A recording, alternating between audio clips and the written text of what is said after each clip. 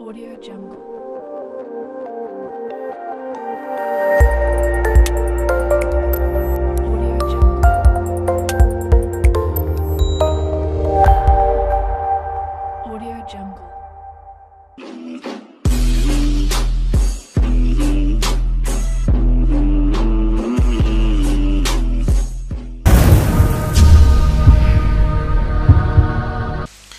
Hello my dear students and friends मैं धर्मेंद्र कुमार आपका स्वागत करता हूँ आपके अपने YouTube channel S D campus Agra पर। जैसा कि पहले मैं आपको परसेंटेज के कई टाइप करा चुका हूँ और इससे पीछे वाली क्लास में हमने एक टाइप पढ़ा था, एक कंसेप्ट पढ़ा था इनिशियल फाइनल वाला। उसी पर आधारित मैंने कुछ क्वेश्चन वहाँ पर करा दिए थे, लेकिन और जो उसी से थोड़े से डिफरेंट लैंग्वेज वाले क्वेश्चन है, लेकिन करने का तरीका वही है। वो क्वेश्चन आज की क्लास में हम डिस्कस करने वाले हैं, उसी कंसेप्ट पर आधारित। तो आज की क्लास के जो क्वेश्चन है, उनमें लैंग्वेज अलग होगी, लेकिन क्वेश्चनों को सॉल्व करने का तरीका वही होगा, जो हम पहले इससे पीछे वाली क्लास में करते हैं। इनिशियल फाइनल वैल्यू से हम उसका जो है सॉल्यूशन करेंगे। तो देखो, आज और क्वेश्चन उसी टाइप के देखते हैं, फिर नेक्स्ट टाइप में चलेंगे। तो देखो, आज की क्लास में देखेंगे, यहाँ पर आपको पहला क्वेश्चन आज की क्लास का दिख गया होगा। आज की क्लास का पहला क्वेश्चन आपको यहाँ पर दिख गया होगा और मैं आपको पढ़ के बता देता हूँ क्वेश्चन में क्या कह रहा है। ये जो है, दस क्वेश्चन मैंने आपको कल इस टाइप के कराए थे, उससे अलग उससे अलग कुछ क्वेश्चंस हैं, उसी टाइप पर आधारित हैं। आपने उनको कर लिया होगा, पढ़ लिया होगा उस वीडियो को। अगर वो सारे टाइप आपने कंप्लीट कर लिए हैं तो ये टाइप आपको बड़ी आसानी से समझ में आएँगे। आज वाले क्वेश्चनों में आपको कोई भी प्रॉब्लम नहीं आएगी। और अगर आपने उसको नहीं देखेंगे, उस वीडियो को नहीं देखेंगे तो दिक्कत आएगी। इसलिए प्यारे विद्यार्थियों, पहले उसको देखें, तब इसको देखेंगे। तो देखो, आज का क्वेश्चन है। तो इसमें फ़र्स्ट क्वेश्चन में कहा है कि एक व्यक्ति अपनी आय का 31.25 प्रतिशत घर के किराए पर, बचे हुए भाग का 30 प्रतिशत खाने पर और पुनः बचे हुए भाग का बयालीस पॉइंट चौरासी प्रतिशत बच्चों की शिक्षा पर खर्च करता है। इसके बाद उसने पाँच सौ रुपये दान में दे दिए। बचे हुए भाग का 45 प्रतिशत बीमा पॉलिसी पर बचे हुए भाग का पैंतीस पॉइंट बहत्तर प्रतिशत लॉटरी पर तथा पुनः बचे भाग का छत्तीस पॉइंट छत्तीस प्रतिशत यातायात पर खर्च किया। यदि उसके पास सोलह सौ बीस बचे तो बताइए बिरयानी पर खर्च आ, उसने कहा है सोलह सौ बीस उसके पास बचे हैं तो बेज बिरयानी पर खर्च ज्ञात करें। यदि बेज बिरयानी का खर्च भोजन पर खर्च का 20 प्रतिशत है। पूरे क्वेश्चन में इस प्रकार से। ये क्वेश्चन क्या है कि एक व्यक्ति ने अपनी इनकम को अलग अलग जगहों पर खर्च किया है। तो खर्च करने के थोड़ा सा इस क्वेश्चन में थोड़ी सी चीज़ें मैं इस क्वेश्चन को करने से पहले आपको समझा देता हूँ। फिर आपको समझ में आएगा। वैसे मैं पुरानी वीडियो में भी इस बात को आपको बता चुका हूँ। तो यहाँ पर क्या है कि एक व्यक्ति की इनकम है तो मैंने आपको बताया था कि इस संसार में कोई भी चीज़ अपने आप में सौ होती है। ठीक उसी प्रकार से किसी व्यक्ति की जो आय है किसी व्यक्ति की जो इनकम है, आय है, वो अपने आप में सौ प्रतिशत होती है फिर उसको व्यक्ति अलग अलग जगहों पर खर्च करता है। तो इसी क्वेश्चन में, इस क्वेश्चन में यहाँ पर जो आपको दिख रहा है, इस क्वेश्चन में यही कहा गया है, एक व्यक्ति की आय को अलग अलग जगहों पर खर्च किया गया है। तो यहाँ पर जो खर्च किया गया है तो इस प्रकार के जो क्वेश्चन आते हैं, ये दो लैंग्वेजों में आते हैं आपके। दो लैंग्वेजों में किस प्रकार से, दो प्रकार से कोई भी चीज़ हो रही होती है तो उसमें मैंने आपको एक तो बताया था सक्सेसिव और एक बताया था समान। तो देखो, आप एक बात समझेंगे, जो आज मैं समझाने वाला हूँ, फिर इस क्वेश्चन को देखेंगे। पहले थोड़ा सा समझ लेंगे मैं क्या समझाना चाह रहा हूँ, वो बहुत ही इंपॉर्टेंट चीज़ है। जैसे अगर हम किसी व्यक्ति की आय की बात करें, अगर हम किसी व्यक्ति की आय की बात करें तो इनकम जो होती है किसी भी व्यक्ति की, वो सौ प्रतिशत होती है। अपने आप में हंड्रेड परसेंट होती है। ठीक उसी प्रकार से, अब मैं क्वेश्चन को हटा देता हूँ। क्वेश्चन हट जाएगा। बस पहले ये कंसेप्ट समझ लेंगे। क्वेश्चन आपने पढ़ी लिया है, फिर हम क्वेश्चन का सॉल्यूशन देखेंगे। फिर देखेंगे इनकम। आय जो होती है वो हंड्रेड परसेंट होती है। अब आय को खर्च करना, जब कोई व्यक्ति अलग अलग मदों पर अपनी इनकम को, अपनी आय को खर्च करता है तो वो जो क्वेश्चन है आपसे जब एसएससी में पूछा जाता है, जब एसएससी में आपसे वो क्वेश्चन पूछा जाता है तो वो दो लैंग्वेजों में आता है। वो दो लैंग्वेजों में किस प्रकार से आता है? जैसे इसमें तो एक क्वेश्चन एक लैंग्वेज में तो ये कह देगा कि एक व्यक्ति एक व्यक्ति अपनी आय का, देखना, ध्यान से समझना दोनों लैंग्वेजों को। एक व्यक्ति अपनी आय का इस प्रकार से कह देगा 40 प्रतिशत भोजन पर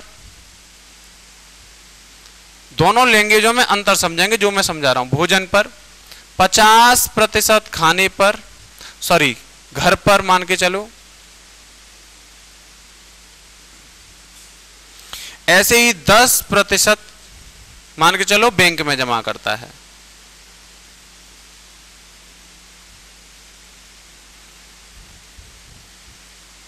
शॉर्ट में समझा देता हूँ, फिर उसके बाद जो भी पूछा होगा क्वेश्चन में बस ये लैंग्वेज समझने वाली है जितना मैंने लिखा है। एक दूसरी लैंग्वेज क्या है? एक दूसरी लैंग्वेज क्या है? एक दूसरी लैंग्वेज इस प्रकार से आती है कि एक व्यक्ति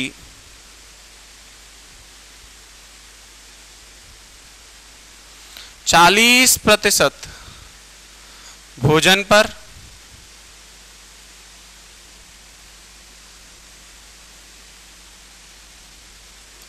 फिर शेष का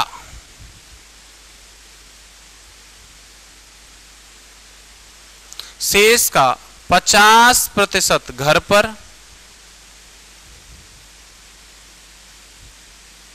ध्यान से समझेंगे बिल्कुल। और शेष का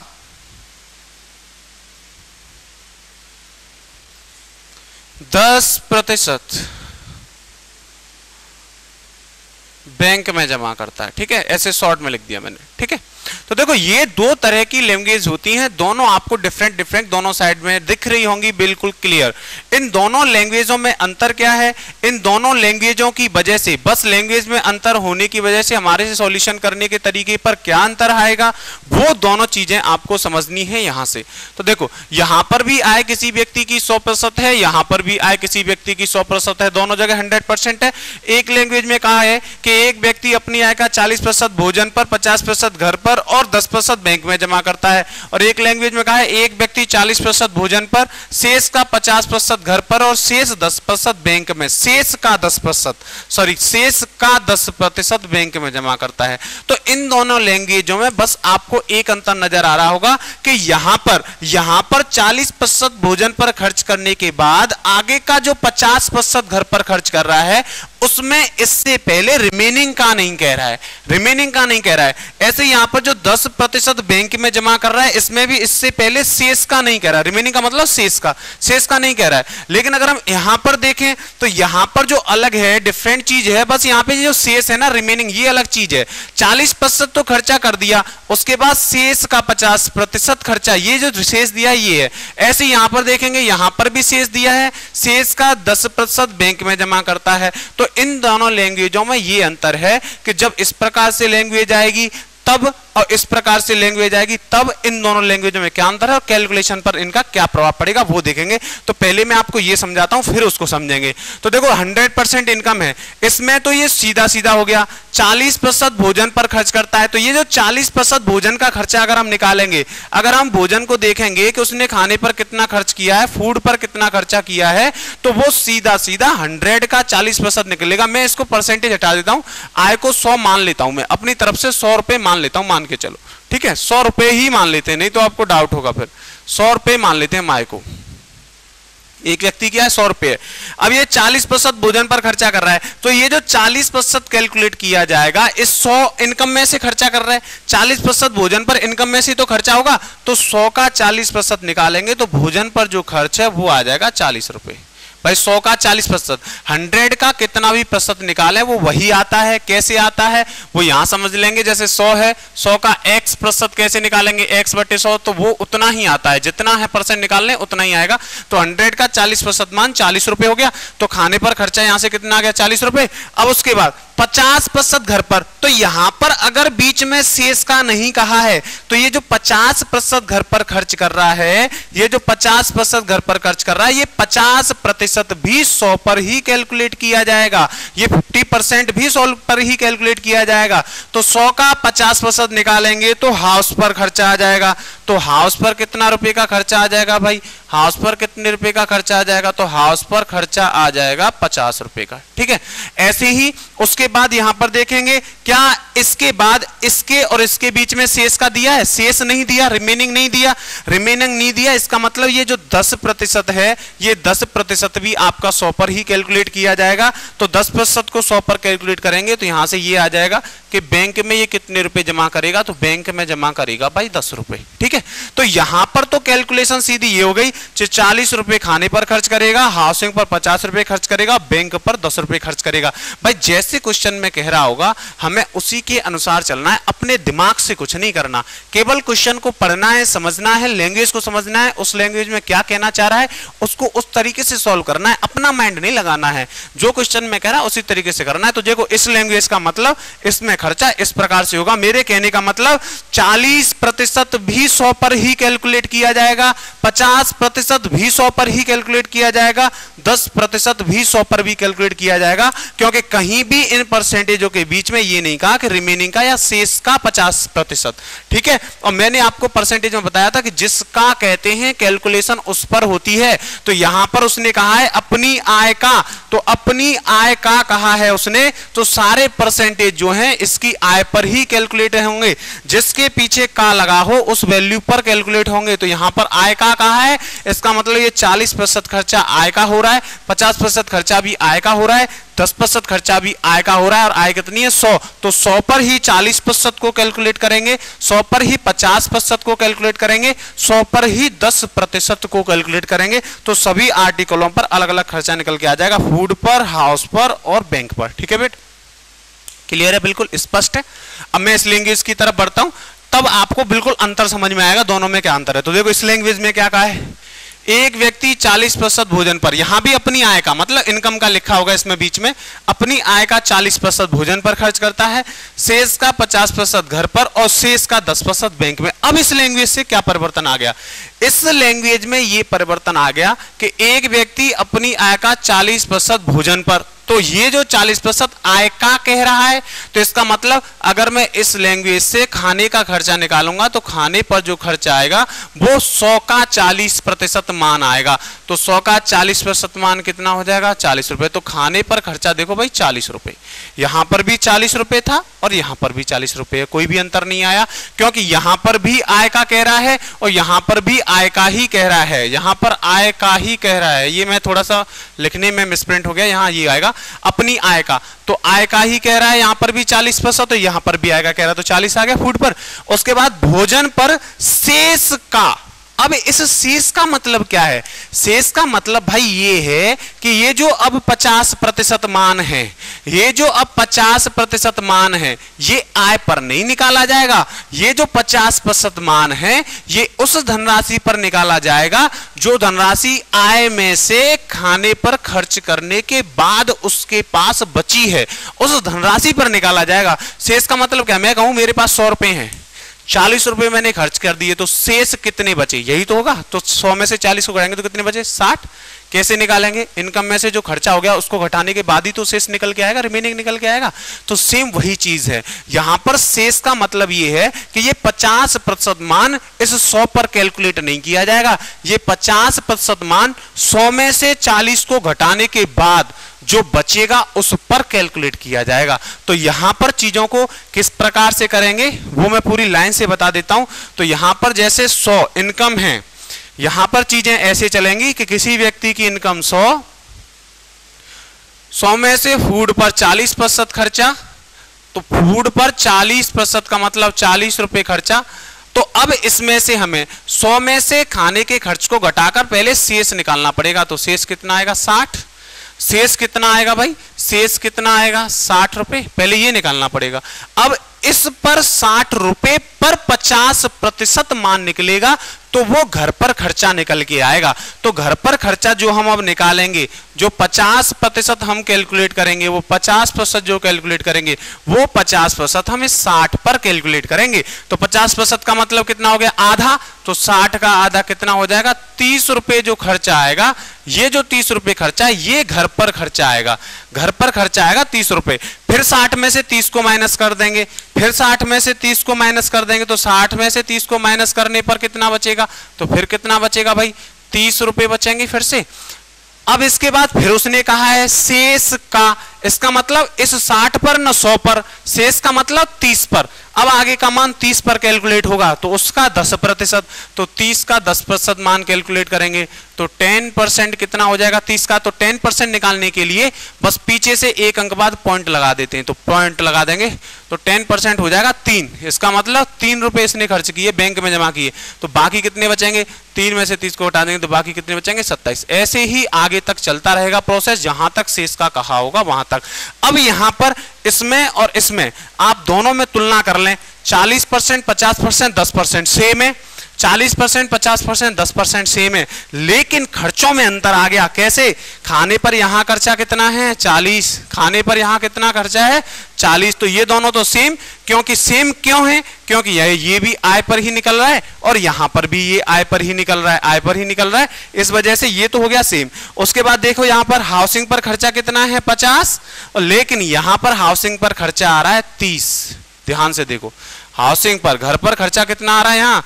तीस क्यों आ रहा है? क्यों? क्योंकि यहाँ पर जो 50 प्रतिशत है, वो सौ का निकाल रहे हैं और यहाँ पर 50 प्रतिशत बची हुई धनराशि 60 का निकाल रहे हैं। इस वजह से ये तीस रुपए खर्चा आया है। और यहाँ बैंक में कितना जमा किया है? यहाँ बैंक में तीन रुपए जमा किया है। अगर हम बैंक की बात करें तो बैंक में यहाँ तीन रुपए जमा किया है और यहाँ पर बैंक में कितना जमा किया है? दस रुपए। यहाँ पर पूरे सौ रुपए खर्च हो गए, लेकिन यहाँ पर उसे खर्च करने के बाद सत्ताईस रुपए उसके पास बच भी गए। बच भी गए कि नहीं बच भी गए? तो सत्ताईस रुपए यहाँ बच भी गए। तो यहाँ से इतना जो मैंने समझाया है, इसको शॉर्टकट में अगर मैं समझाऊं, ये तो मैंने आपको सारी चीज़ें क्लियर करके बताई हैं। शॉर्टकट में समझाने का मतलब ये है, अगर इस चीज़ को मैं शॉर्टकट में बताऊँ तो बस आप एक चीज़ याद रखें कि जब बीच में शेष का नहीं कहेगा तो हम वैल्यू सीधी जो इनकम है उस पर कैलकुलेट करेंगे। और अगर बीच में शेष का कहा होगा तो वैल्यू पहले जो 100 में से खर्चा हो गया है, उसको घटाने के बाद जो धनराशि बचेगी उस पर कैलकुलेट करेंगे। जैसे 40 परसेंट तो 100 पर होगा कैलकुलेट, उसके बाद जो अगला 50 प्रतिशत है, इसके आगे शेष का कहा है? तो ये 50 प्रतिशत बची हुई धनराशि 60 पर कैलकुलेट होगा। ऐसे यहाँ पर 50 प्रतिशत के बाद जो 10 परसेंट है, इससे पहले शेष का कहा है? तो ये आगे का 10 प्रतिशत बची हुई धनराशि 30 पर कैलकुलेट होगा, ना कि 100 पर, ना 60 पर। ठीक है? क्लियर है? ये बात बिल्कुल आसानी से तुम्हारे समझ में आ गई होगी। अब हम चलते हैं आज की क्लास के पहले क्वेश्चन के सॉल्यूशन की तरफ़। अब भाई इस क्वेश्चन को सॉल्व करने में आपको दिक्कत नहीं आनी चाहिए।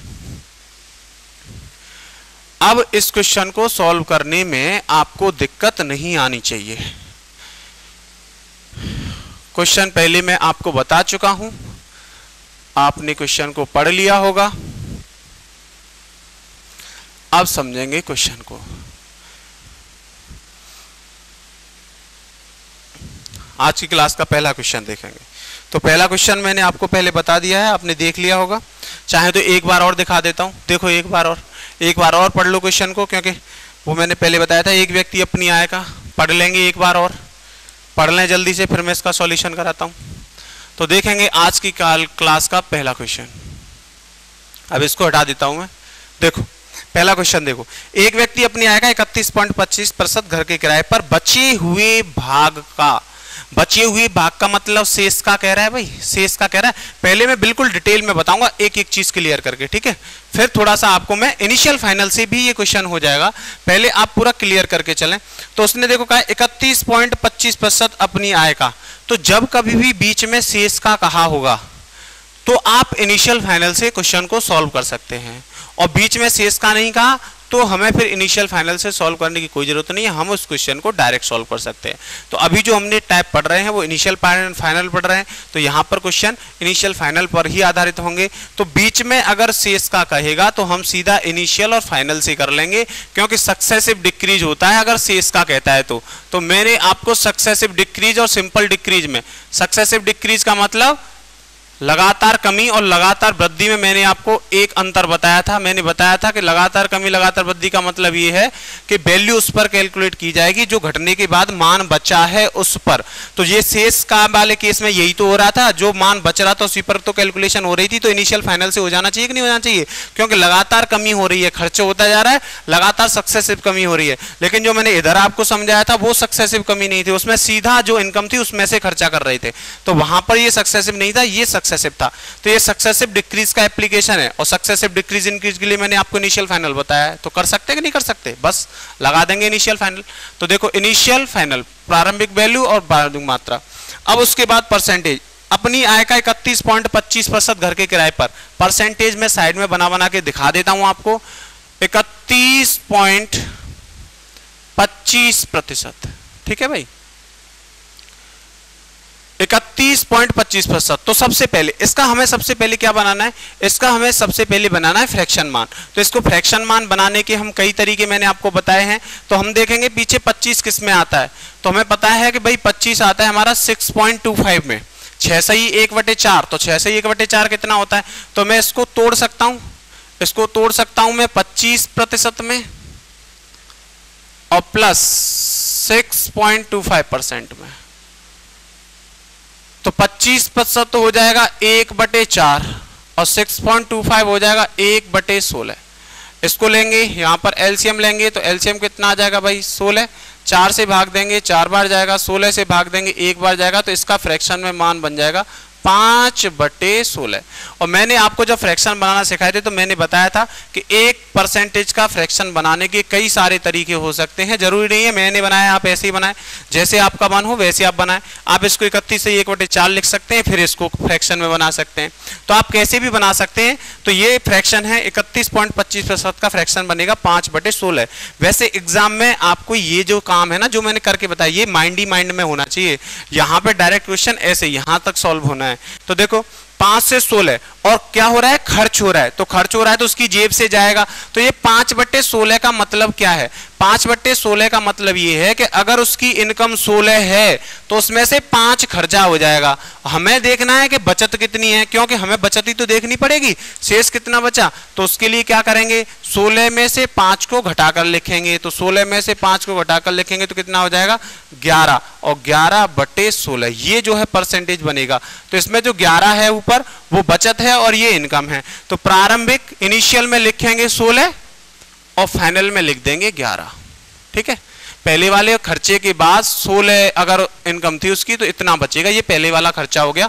उसके बाद ये बची हुई धनराशि हो गई। ये जो पाँच बटे सोलह है, इसका मतलब क्या है? दोबारा समझेंगे।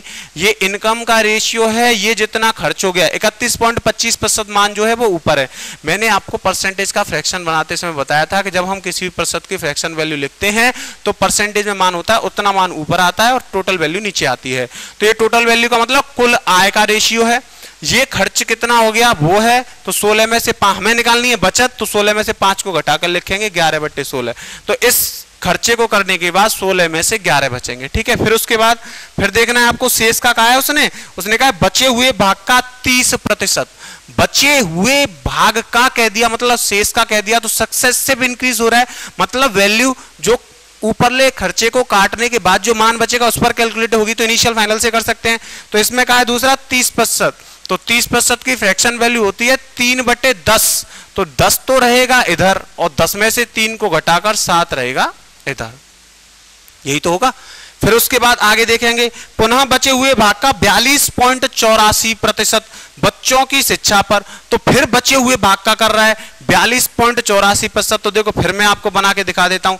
बयालीस पॉइंट चौरासी प्रतिशत। तो देखो, बयालीस, चौदह बयालीस। इसका मतलब ये fourteen point two eight percent का तीन गुना है आप देख लो अट्ठाईस चौरासी और चौदह ती बयालीस और इसका होता है एक बटे सात तो इसका फ्रैक्शन कितना हो जाएगा तीन बटे सात तो नीचे वाले सात को तो लिखेंगे इधर और सात में से तीन को घटाकर क्योंकि ये खर्चा है सात में से तीन को घटाकर तो इसका फ्रैक्शन चार बटे सात बनेगा तो सात में से तीन को घटाकर चार को लिखेंगे इधर ठीक है तो ये हो गया उसके बाद उसने कहा है कि इसके बाद उसने पाँच सौ रुपए दान में दे दिए। बीच में चेन ब्रेक हो गई। मतलब इसके बाद अब उसने परफेक्ट में रुपए दिए हैं। तो जब कभी भी ऐसा हो कि अगर वो यहीं तक कह देता कि बताइए उसके पास कितने रुपए बचे तो सीधा मैं इसको यहाँ से करता, ये इनकम हो जाती और ये बचत हो जाती, सेविंग निकालते तो इसमें से इसको घटा देते।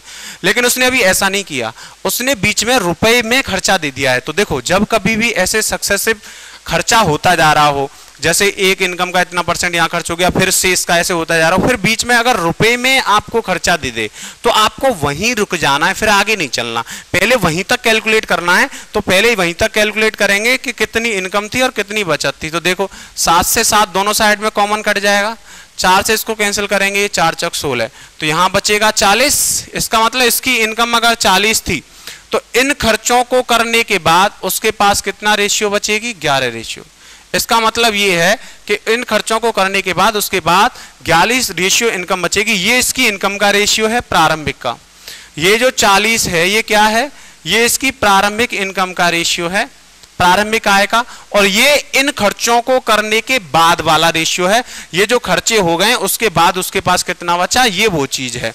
अब उसके बाद, जब ये वो चीज़ है तो इसमें से पाँच सौ रुपए उसने दान दिए हैं। इसका मतलब ग्यारह रेशियो में से पाँच सौ और घटा दूँ तो दान देने के बाद जो धन बचा, वो आ जाएगा। ग्यारह रेशियो में से अगर 500 घटा दूँ तो ये क्या हो जाएगा? ये आ जाएगा दान देने के बाद जो धन बचा, फिर उसके बाद उसने कहा है कि उसके बाद बचे हुए भाग का 45 प्रतिशत बीमा पॉलिसी पर। अब फिर से वही काम चालू हो जाएगा इस क्वेश्चन में। अब मैं इनको हटा देता हूँ। इनको हटा देता हूँ, आपको समझ में आ गया होगा फ्रैक्शन कैसे आया है। देखो, क्वेश्चन के अनुसार ही चल रहा हूँ, कुछ अलग नहीं कर रहा, कोई जादू नहीं कर रहा हूँ। जैसे क्वेश्चन में कह रहा है, वैसे ही कर रहा हूँ। जिस पर निकालने की कह रहा है, उसी पर कैलकुलेट कर रहा हूँ। तो देखो, आगे क्वेश्चन में उसने क्या कहा है? उसने कहा है, बचे हुए भाग का 45 प्रतिशत बीमा पॉलिसी पर। तो बचे हुए भाग तो बचा हुआ भाग कौन सा है ये? बचा हुआ भाग कौन सा है? ये है, बचा हुआ भाग। तो इसका 45 प्रतिशत बीमा पॉलिसी पर। तो इसका मतलब अब हम जो निकालेंगे, वो हमारे पास बचा 11 रेशियो और माइनस फाइव हंड्रेड ही है। अब इस पर निकालेंगे सारी वैल्यूज़ तो इसका 45 प्रतिशत उसने बीमा पॉलिसी पर खर्च कर दिया। तो 45 परसेंट की फ्रैक्शन वैल्यू कितनी होती है? 45 परसेंट की फ्रैक्शन वैल्यू होती है 9 बटे बीस। तो 9 बटे बीस खर्च हो गया तो बचत कितनी हुई? तो बचत बचत निकालेंगे तो माइनस तो बचत हो जाएगी, ग्यारह बट्टे बीस हो जाएगी, नहीं हो जाएगी? तो मैं अगर इसका ग्यारह बट्टे बीस निकाल लूँ तो ये खर्चा करने के बाद बचत आ जाएगी कि नहीं आ जाएगी? आ जाएगी कि नहीं आ जाएगी? क्योंकि ग्यारह क्या है? बचत है। तो मैंने उसका मल्टीप्लाई कर दिया तो इसका पैंतालीस परसेंट खर्चे के बाद आ गई। फिर उसके बाद बचे हुए भाग का पैंतीस पॉइंट बहत्तर प्रतिशत। फिर इसने कहा है पैंतीस पॉइंट, कल मैंने बताया था आपको, पैंतीस पॉइंट बहत्तर प्रतिशत। कल मैंने आपको एक चीज़ बताई थी देखो, जैसे मैं ये घटाकर निकाल रहा हूँ ना, नौ बट्टे बीस को ग्यारह बट्टे बीस कर रहा हूँ, मैं क्या कर रहा हूँ? मैं वो काम कर रहा हूँ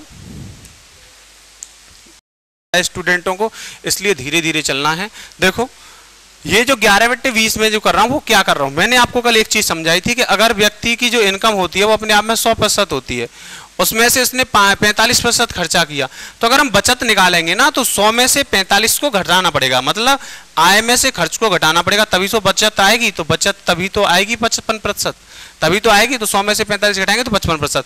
चाहे तो आप पहले सौ में से परसेंटेज को घटा लो। तब उसका फ्रैक्शन सीधा यहाँ लिख दो, ग्यारह बट्टे बीस। या आप पहले फ्रैक्शन निकाल लो, फिर माइनस करके घटा के लिख दो। लेकिन आपको यह पता होना चाहिए कि पैंतालीस प्रतिशत क्या है। तो पैंतालीस प्रतिशत खर्च है तो इसका मतलब ऊपर खर्चा आएगा और नीचे आय आएगी। तो अब मैं निकालनी है बचत तो बचत निकालने के लिए आय में से खर्चे को घटाना पड़ेगा तो बचत का रेशियो निकालना है हमें ग्यारह बट्टे बीस। और बचत के रेशियो से मल्टीप्लाई करना है, क्योंकि हमें बचत ही दिया आगे। तो ऐसे करके तो पचपन परसेंट का फ्रैक्शन मान देखो, सीधा ग्यारह बट्टे बीस आएगा कि नहीं आएगा? आएगा कि नहीं होगा? तो ऐसे निकाल सकते हैं। जैसे मैं आपको अगला वाला परसेंटेज ऐसे ही निकाल के बता देता हूँ। तो आपको समझ में आएगा। जैसे उसने कहा है, अगला खर्च कि शेष का पैंतीस पॉइंट बहत्तर प्रतिशत। तो अब मैं क्या करूँगा कि जो पैंतीस पॉइंट बहत्तर प्रतिशत है शेष का, ये क्या है? ये खर्च है, ठीक है? अब इस खर्च को मुझे क्या करना है? बचत में कन्वर्ट करना है। तो इस खर्च को बचत में कन्वर्ट करने के लिए मैं क्या करूँगा? हंड्रेड परसेंट में से और माइनस कर दूँगा, पैंतीस पॉइंट बहत्तर प्रतिशत। इसको माइनस कर दूँगा। तो जब इसमें से इसको माइनस करूँगा तो ये आ जाएगा हमारा, कितना आ जाएगा? 64.28 परसेंट। ये आ जाएगा। अब ये क्या है? ये बचत का परसेंटेज आ गया। अब इसका फ्रैक्शन मान निकालना है। तो इसका फ्रैक्शन मान मैं बना सकता हूँ। भाई देखो ये, पॉइंट अट्ठाईस आ रहा है पीछे। तो चौदह, पॉइंट अट्ठाईस का फ्रैक्शन मान कितना होता है? एक बटे सात। और प्लस फिर पचास परसेंट बचेगा। उसका कितना होता है? एक बटे दो। एलसीएम कितना आ जाएगा? चौदह। तो सात से कैंसिल करेंगे दो और दो से कैंसिल करेंगे सात। तो इसका फ्रैक्शन में मान बन जाएगा भाई नौ बटे चौदह। ठीक है? ये तो बन जाएगा नाइन बाई फोर्टीन तो नाइन बाई फोर्टीन ये क्या है अब? ये जो रेशियो है, सीधा बचत का रेशियो आ गया, क्योंकि सौ में से पहले हमने घटा लिया है खर्च को। और अगर हम पैंतीस पॉइंट बहत्तर प्रतिशत का फ्रैक्शन निकालते तो घटा के पहले बचत का बनाते, तब मल्टीप्लाई करते। तो अब इसमें मैं मल्टीप्लाई कर दूँगा नाइन बाई फोर्टीन का। मल्टीप्लाई उसके बाद क्या कहा उसने? उसने कहा है कि शेष भाग का 36 पॉइंट छत्तीस प्रतिशत यातायात पर। फिर से इसका कहा है। ठीक है, ये समझ में आ गया होगा। इसको हटा देता हूँ, मिटा दू इसको। क्वेश्चन बहुत अच्छा है भाई, बहुत ही अच्छा क्वेश्चन है। सारे पॉइंट क्लियर हो जाएँगे आपके इस क्वेश्चन से। कुछ नहीं बचेगा इन क्वेश्चनों में। उसके बाद इसने कहा छत्तीस पॉइंट छत्तीस प्रतिशत शेष का। तो फिर से वही काम हमें सबसे पहले फ्रैक्शन मान बनाना है। तो छत्तीस पॉइंट छत्तीस प्रतिशत। तो आपको ये दिख रहा होगा, मैं इसको लिख सकता हूँ four multiply nine point zero nine percent देखो नौ चौक छत्तीस छत्तीस, और ये होता है एक बट्टे ग्यारह। तो ये इसका चार गुना है तो कितना हो जाएगा? चार बट्टे ग्यारह। लेकिन ये छत्तीस पॉइंट छत्तीस प्रतिशत क्या है? ये खर्च है। हमें बनाना है, बचत में रेशियो तो बचत में माइनस करके बनाएँगे तो कितना आ जाएगा? सात बटे ग्यारह। इसका मतलब अब इसमें मल्टीप्लाई करेंगे, सात बटे ग्यारह का। तो ये बचत आ गई इस खर्चे को करने के बाद। उसके बाद उसने कहा है, यदि उसके पास सोलह सौ बीस रुपए बचे हों, इसका मतलब अब ये जो बचत है, वो उसने बराबर दी है सोलह सौ बीस रुपए के भाई। ठीक है, अब क्वेश्चन सॉल्व हो गया। अब यहाँ से एक रेशियो का मान निकाल लेंगे तो इनकम आ जाएगी व्यक्ति की कितनी है। तो इनकम आ जाएगी व्यक्ति की कितनी? है इसको हटा दू। आगे कैलकुलेट करते हैं। तो कैलकुलेट करेंगे देखो। 11 से 11 कैंसिल हो गया। सात से ये दो बार कैंसिल हो गया। ठीक है? दो बार कैंसिल हो गया। नौ से कैंसिल करेंगे। नौ से इसको मैं कैंसिल कर देता हूँ। तो नौ से ये एक बार जाएगा, सात बचेगा। सात दो बेहतर हो जाएगा। नौ आठ बेहतर एक सौ अस्सी बार। तो यहाँ से आगे कैलकुलेट करेंगे। तो यहाँ से हो जाएगा ये eleven ratio minus five hundred और मल्टीप्लाई देखो, यहाँ पर तो कुछ बचा नहीं, सब कट गया, नीचे बचा चालीस, ये उधर बट मल्टीप्लाई में चला जाएगा। तो 180 और मल्टीप्लाई 40 ठीक है भाई? तो 180 मल्टीप्लाई 40 कितना हो जाएगा? 18 चौक बेहतर बेहतर सौ हो जाएगा। 500 और चला जाएगा उधर तो 11 रेशियो का मान बराबर हो जाएगा सतहत्तर सौ। एक रेशियो का मान निकालेंगे यहाँ से तो एक रेशियो का मान बराबर आ जाएगा सतहत्तर सौ बटे ग्यारह। ग्यारह से कैंसिल हो जाएगा सात बार तो एक रेशियो का मान कितना आ जाएगा? सात सौ। इसका मतलब हमें निकालनी है इनकम तो इनकम कितनी हो जाएगी? इनकम हो जाएगी हमारी इनकम कितनी है? इनकम कितना रेशियो है? चालीस रेशियो है। तो इनकम निकालेंगे तो इनकम बराबर हो जाएगी चालीस मल्टीप्लाई सेवन हंड्रेड, सात सौ, चालीस मल्टीप्लाई सात सौ करेंगे तो सात चक अट्ठाईस हज़ार रुपये की इनकम हो गई उस व्यक्ति की। उस व्यक्ति की जो आय है वो कितनी हो गई भाई? अट्ठाईस हज़ार। अब देखते हैं क्वेश्चन में क्या पूछा है। क्वेश्चन में उसने पूछा है, उसके पास सोलह से बीस बचे तो बिरयानी पर खर्च ज्ञात करें। यदि वेज बिरयानी पर खर्च, भोजन पर खर्च का 20 प्रतिशत है।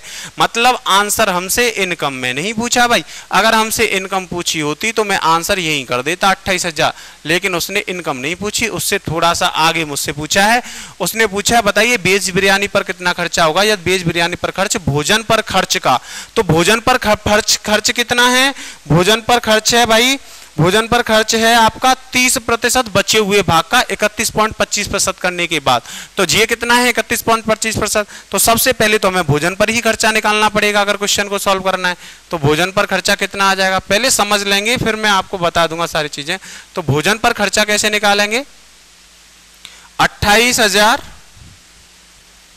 ठीक है मल्टीप्लाई ग्यारह बट्टे सोलह तो ये खर्चा होने के बाद जो पहला वाला खर्चा है पहला वाला खर्चा जो हो रहा है, किस पर हो रहा है? घर पर। वो खर्चा होने के बाद का धन आ जाएगा। फिर उसका तीस प्रतिशत।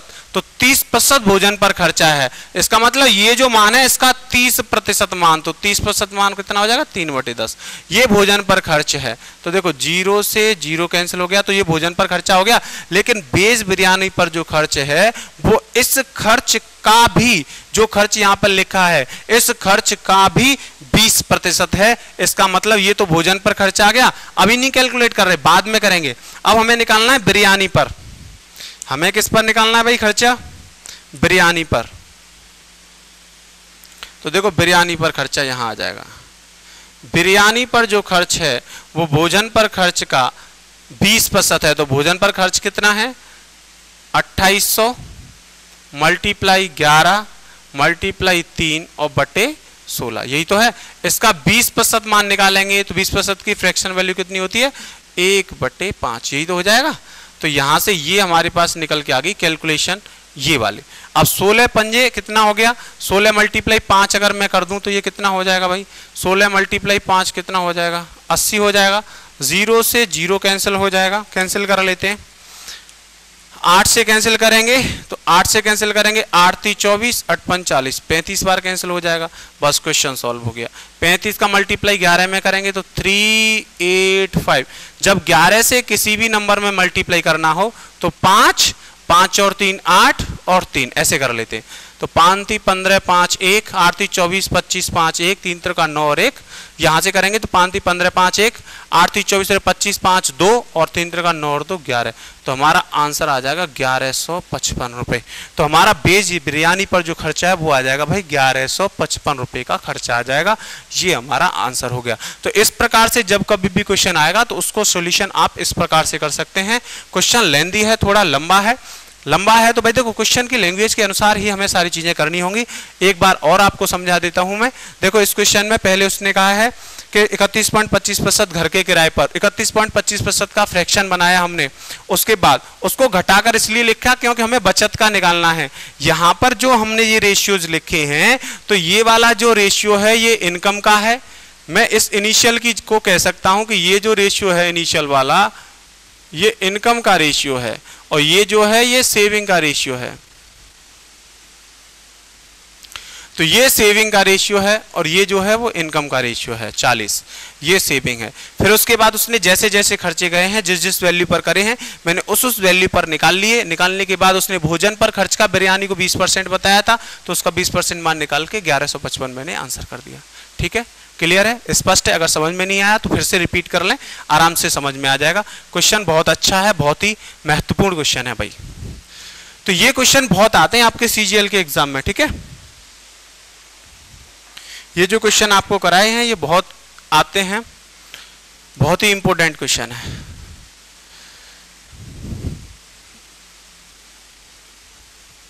ऐसे इस क्वेश्चन को हम बहुत जल्दी और आसानी से सॉल्व कर सकते हैं। तो जब कभी भी, इस क्वेश्चन से क्या सीखने को मिला हमें? कि जब कभी भी हमें शेष का कहेगा तो हम इनिशियल फाइनल से ही करेंगे। क्योंकि शेष का मतलब होता है कि जो वैल्यू है वो रिमेनिंग बचे हुए भाग पर कैलकुलेट की जाएगी। और बचे हुए भाग पर कैलकुलेट करने का मतलब है, बचे हुए भाग पर कैलकुलेट करने का मतलब क्या है? बचे हुए भाग पर कैलकुलेट करने का मतलब जो बचा है तो उसे कहेंगे हम सक्सेसिव सक्सेसिव डिक्रीज और इंक्रीज के लिए हम इनिशियल फाइनल का यूज़ कर सकते हैं। इनिशियल फाइनल है क्या? इनिशियल फाइनल एक तरह से कुछ नहीं है। एक तरह से मल्टीप्लाई है। मैं इस चीज़ को ऐसे लगता हूँ, इस चीज़ को और दूसरे तरीके से भी लिख सकता हूँ। कैसे लिख सकता हूँ पता है? जैसे मान के चलो टोटल इनकम को एक्स मान लो या कुछ भी मान लो इनकम को, कुछ भी मान लो। उसके बाद जैसे जैसे वो खर्चा करता जा रहा है, उनके रेशियो बचत के यहाँ पे मल्टीप्लाई करते जाओ। जैसे बचत कितनी हो रही थी? ग्यारह बट्टे सोलह हो रही थी पहले रेशियो में। ऐसे करके आप करते जाओ मल्टीप्लाई और वो जो वैल्यू है, वो बराबर किसकी होगी? सेविंग के। यही तो होगी। सेविंग्स के बराबर होगी बस। ये है इनिशियल फाइनल और क्या है? तो यहाँ पर क्या होता है? यहाँ पर होता क्या है? जैसे मान के चलो पाँच बटे छह, मैं अपनी तरफ़ से लिख देता हूँ, तीन बटे चार। ये है। तो अगर मैं सेविंग्स को इधर लेके जाऊँ तो क्या हो जाएगा ये? इनकम अपॉन क्या हो जाएगा? सेविंग यही तो हो जाएगा। देखना, समझना। और यहाँ से ये चले जाएँगे ऊपर 16 मल्टीप्लाई छ मल्टीप्लाई चार, ठीक है? और ये हो जाएगा 11 मल्टीप्लाई पाँच मल्टीप्लाई तीन। तो इनिशियल फाइनल क्या है? यही तो है। इसी चीज़ को मैं कैसे लग देता हूँ? 11 पाँच, तीन और 16 छः चार, जो दोनों में कॉमन होता है वो कट जाएगा, क्योंकि ऊपर नीचे कट जाएगा, तीन से दो बार कट जाएगा नहीं कट जाएगा। ऐसे लाइनों में कॉमन को काट देते। हैं बाकियों का मल्टीप्लाई क्यों करते हैं? क्योंकि यहाँ पर मल्टीप्लाई हो रहा है, इस वजह से मल्टीप्लाई करके लिख लेते हैं। तो यहाँ पर इनकम का रेशियो आ जाता है, यहाँ पर सेविंग का रेशियो आ जाता है। क्लियर है? ठीक है? तो आपको बिल्कुल आसानी से समझ में आया होगा, बहुत ही धीरे धीरे मैंने आपको समझाया है। उसके बाद अगर नहीं समझ में आया है तो इसी टाइप का एक और क्वेश्चन देखेंगे तो और अच्छे से समझ में आ जाएगा। आपको स्क्रीन पर दिख रहा होगा, इसी टाइप का एक सेकंड क्वेश्चन इसको करने की कोशिश करेंगे भाई, जल्दी से। क्वेश्चन को पढ़ा करें, समझा करें, करने की कोशिश किया करें। क्योंकि तुम्हारे माइंड की एक्सरसाइज होना ज़रूरी है। मेरे माइंड, में अगर क्वेश्चन को सॉल्व कर लूँ तो उससे तुम्हारा कोई भी फ़ायदा नहीं होने वाला है। क्यों नहीं होने वाला है कि मैं थोड़े ही आपकी जगह एग्ज़ाम में बैठूँगा भाई? क्वेश्चन को आपको सॉल्व करना आना चाहिए, तब आपको उसका प्रॉफिट मिलेगा और उसके लिए क्या करना पड़ेगा? उसके लिए आपको अपना खुद का माइंड चलाना पड़ेगा। तो खुद का माइंड कब चलाओगे? ये क्वेश्चन दिख रहा है, इसको करो। इस क्वेश्चन को सॉल्व करो, करने की कोशिश करो, कुछ नहीं कर पा रहे हो, अगर कर नहीं पा रहे हो तो बस पढ़ लो। क्योंकि पढ़ने से क्या होगा कि जब मैं क्वेश्चन को समझाऊँगा तो आपके समझ में वो अच्छे से आएगा। इसलिए आप बाई चांस अगर क्वेश्चन कर नहीं पा रहे हैं तो ज़रूरी नहीं है। हताश होने की, निराश होने की ज़रूरत नहीं है। क्योंकि मैं यहाँ सिखाने के लिए खड़ा हूँ। मैं आपसे उम्मीद करता हूँ कि आपको कुछ नहीं आता, आपको कुछ आता ही नहीं है। आपको सब मुझसे ही सीखना है, बस मैं उम्मीद करके वो पढ़ा रहा हूँ। तो मुझसे सीखने आए हो, आपको नहीं आता तो उसमें शर्म वाली बात नहीं है भाई। कोई टेंशन नहीं है, नहीं आता तो। लेकिन अगर आप अब कोशिश नहीं करेंगे सीखने की तो गलत है। जो मैंने पीछे कराया है, उसी पर आधारित कोई क्वेश्चन आपको एग्ज़ाम में दिखे आप ना कर पाओ तो गलत है। लेकिन जो मैंने चीज़ कराई नहीं है, अगर उस पर आधारित क्वेश्चन छूट जाता है तो कोई बात नहीं है, छूट जाने दो। अब मैं आगे कराऊँगा। कुछ भी नहीं छूटेगा, सारी चीज़ें तरीके से होंगी। टेंशन मत लो। पढ़ो इस क्वेश्चन को और करने की कोशिश करो। थोड़ा सा ट्राई किया करो, ठीक है? मैं आपको और पढ़ के सुना देता हूँ क्वेश्चन में क्या कह रहा है। क्वेश्चन में कह रहा है, सतवीर ने सिनेमा घर के टिकट पर अपने धन का दस प्रतिशत खर्च किया। दस प्रतिशत अपने धन का खर्च किया, तथा बचे हुए धन का चालीस प्रतिशत भोजन पर खर्च किया। देखेंगे यहाँ पढ़ के रास्ते में मिलने पर उसके पापा उसे सैंतीस सौ रुपए का दस प्रतिशत दे देते हैं। अब कुल धन का पचास प्रतिशत धन वह भोजन पर खर्च करता है। अब उसके पास तीन सौ बीस रुपए हैं तो ज्ञात करें प्रारंभ में उसके पास कितने रुपए थे, ठीक है?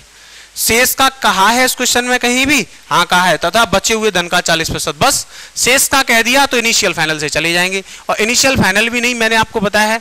अब देखो इसका सॉल्यूशन देखेंगे, मैं क्वेश्चन को हटा देता हूँ। देखो क्वेश्चन का सॉल्यूशन जैसे मैं इनिशियल फाइनल लिख सकता हूँ, आप चाहें तो वहाँ ये भी लिख सकते हैं इनकम और दूसरी साइड में सेविंग आप चाहें तो ऐसे भी लिख सकते हैं।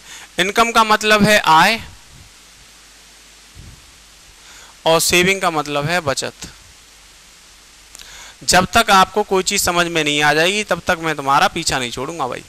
बिल्कुल माइंड में घुसा दूँगा चीज़ों को, तभी तभी आगे बढ़ेंगे। अदरवाइज़ आगे बढ़ेंगे नहीं, जब तक समझ में नहीं आएगा। सारी चीज़ें समझ में आ जाएँगी, तभी आगे बढ़ेंगे। तो देखो इनकम और सेविंग का।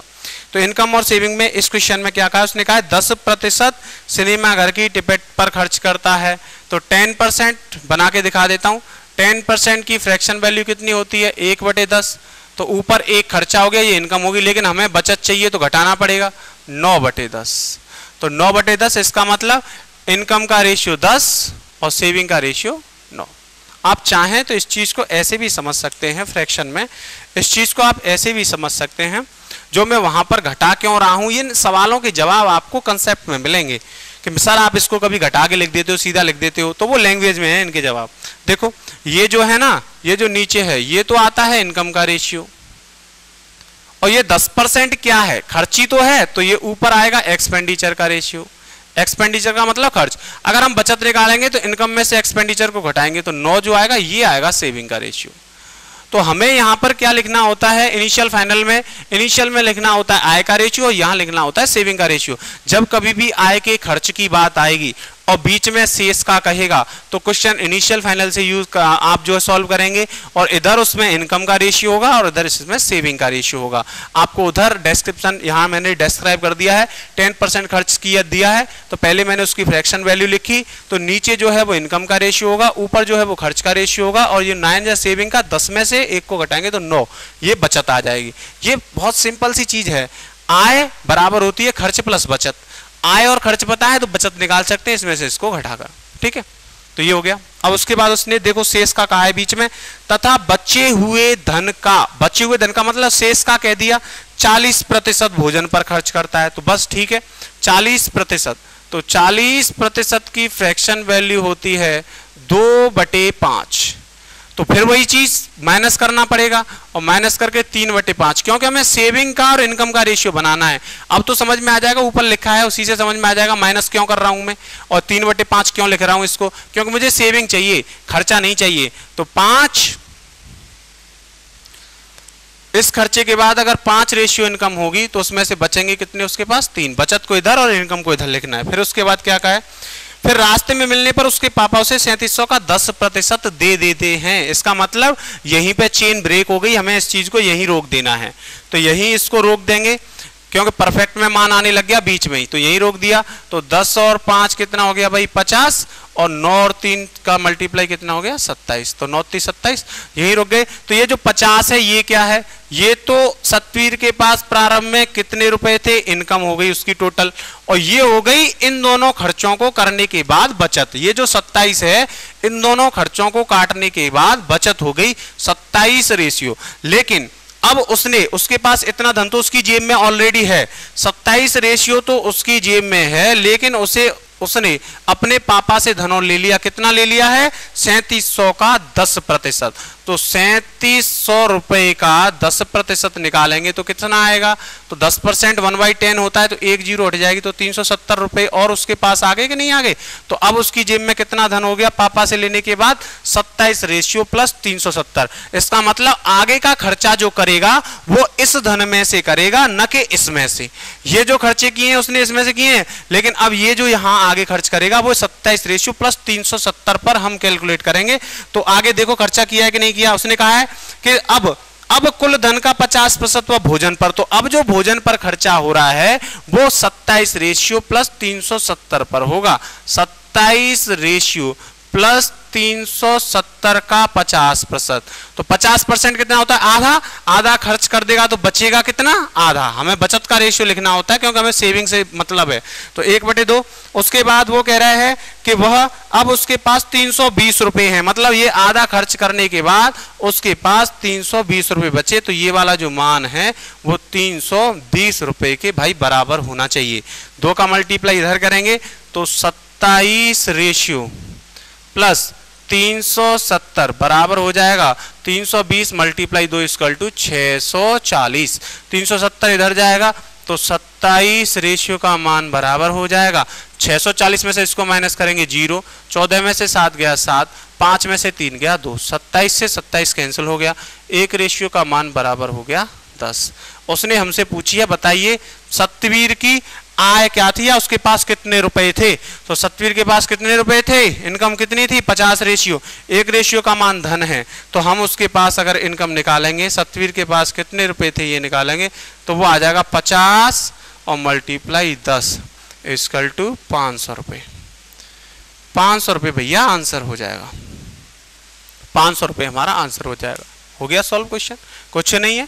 बस आपको थोड़ा सा आप इन चीज़ों को जो है माइंड ही माइंड में कैलकुलेट कर लें फ्रैक्शन वाली चीज़ों को सॉल्यूशन क्वेश्चन का आपके सामने ये है, बस इतना सा क्वेश्चन सॉल्व करना है।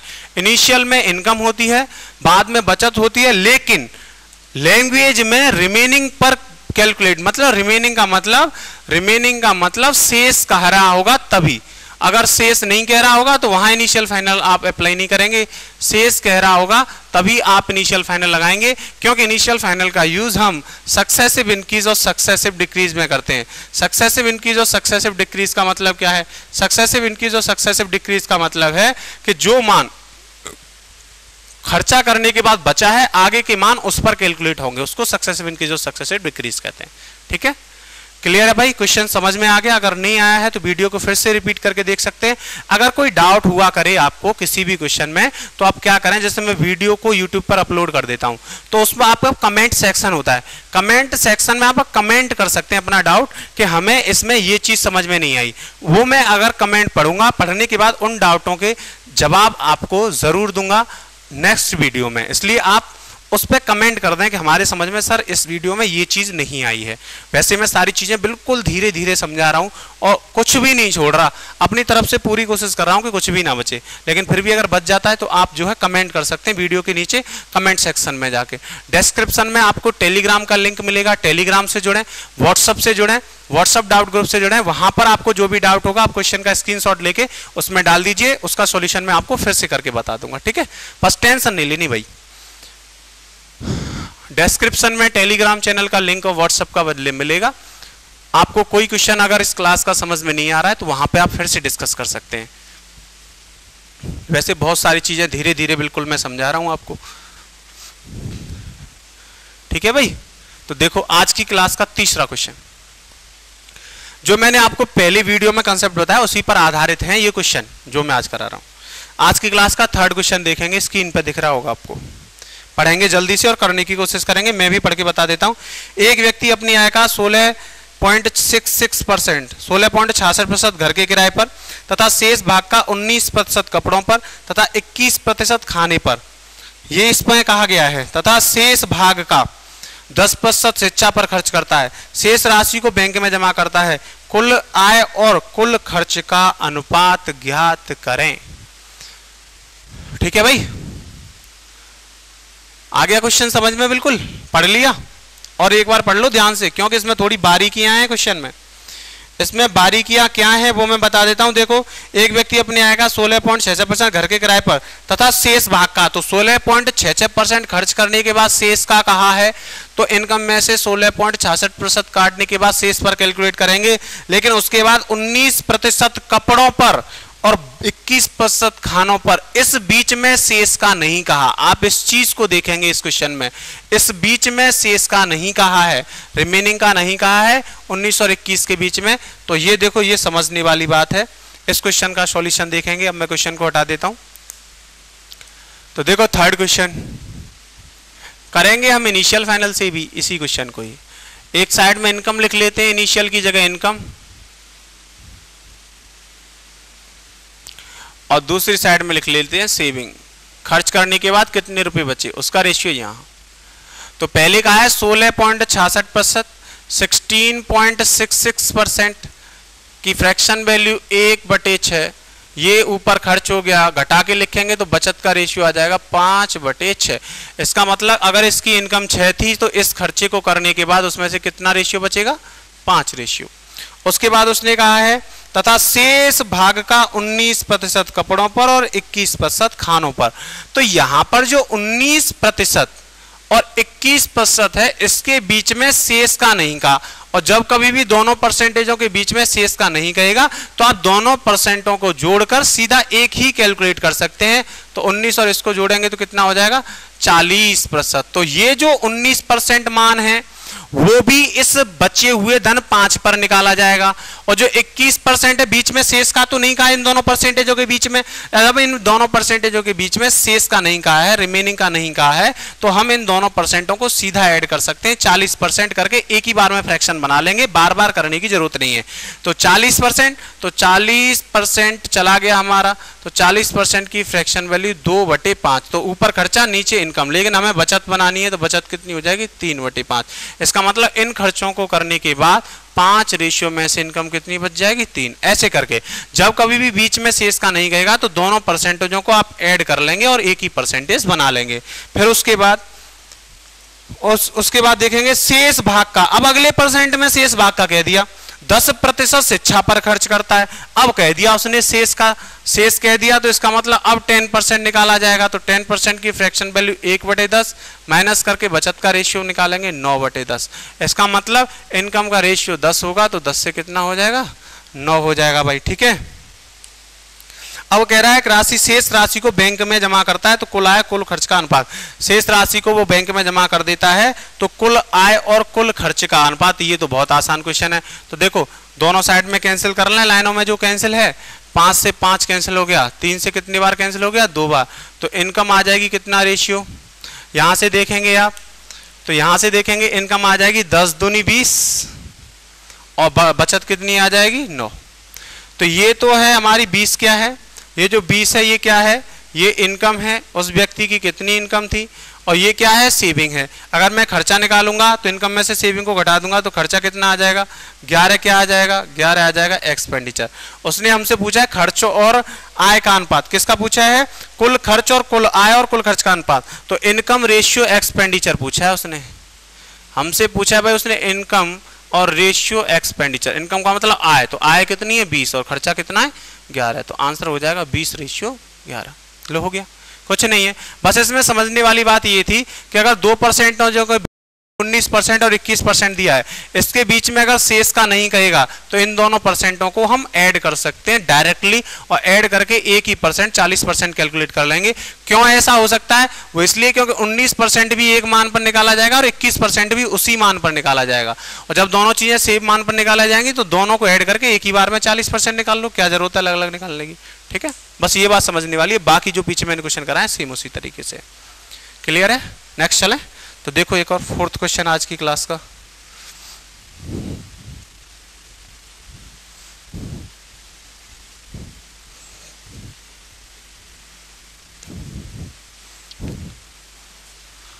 आज की क्लास का देखेंगे भाई फोर्थ क्वेश्चन।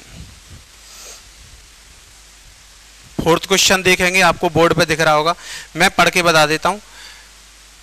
एक्स अपनी आय का 28.33 प्रतिशत घर के किराए पर तथा शेष भाग का तिरसठ प्रतिशत घर के खर्चों पर खर्च करता है, व्यय करता है। पैंतीस सौ सोलह रुपए संस्था में दान करता है। यदि वह अपनी आय का 10 प्रतिशत की बचत करता है तो उसकी प्रारंभिक आय बताइए। क्वेश्चन ये है, ज़्यादा लेंदी नहीं है, बहुत छोटा क्वेश्चन है। पहले में बहुत लेंदी क्वेश्चन आपको करा चुका हूँ तो ये तो आपको हलुआ लगने चाहिए। हलुआ का मतलब जैसे हलुए को आसानी से खाया जा सकता है, वैसे ही इस क्वेश्चन को आसानी से सॉल्व किया जा सकता है, ठीक है? हलुआ का मतलब ये होता है। पता था तुम्हें हलुए का मतलब। देखो भाई फोर्थ क्वेश्चन देखेंगे आज की क्लास का। फोर्थ क्वेश्चन देखेंगे। एक्स अपनी आय का अट्ठाईस पैंतीस घर के किराए पर। तथा शेष भाग, जैसे ही शेष कह दे, दिमाग में इनिशियल फाइनल आ जाना चाहिए तुरंत। और इनिशियल फाइनल आते ही एक साइड में लिख लो आप इनकम और दूसरी साइड में लिख लो आप सेविंग आय कितनी है और बचत कितनी है, ठीक है? तो पहले कितना खर्चा किया? अट्ठाईस पॉइंट तैतीस प्रतिशत। तो पहले तो भाई इसका फ्रैक्शन मान बनाना पड़ेगा। तो अट्ठाईस पॉइंट तैतीस परसेंट का फ्रैक्शन मान बनाइए सबसे पहले तो। तो मैं इसको, देखो, बनाने का मैंने वैसे तो तरीके आपको बता सके हैं कि पीछे तैतीस पॉइंट तैतीस किसमें आता है, ये देख लें। तो तेरह से एक बटे तीन में भी आता है। उसके अलावा, अगर आप चाहें तो मैं इसको ऐसे लिख सकता हूँ, कैसे लिख सकता हूँ? अट्ठाईस से ही एक बटे तीन प्रतिशत। ठीक है? तीन का इसमें मल्टीप्लाई करूँगा, आठ तीन चौबीस चार दो, चौरासी और एक पिचासी बटे तीन हो जाएगा। तो इसका फ्रैक्शन में मान बनाएँगे तो हो जाएगा पचासी बटे तीन और सौ से भाग दे देंगे परसेंटेज के साइन को हटाने के लिए।